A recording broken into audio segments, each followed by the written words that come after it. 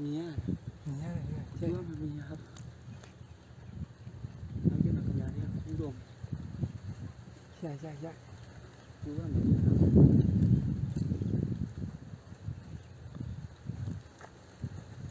นี่พี่ได้มอง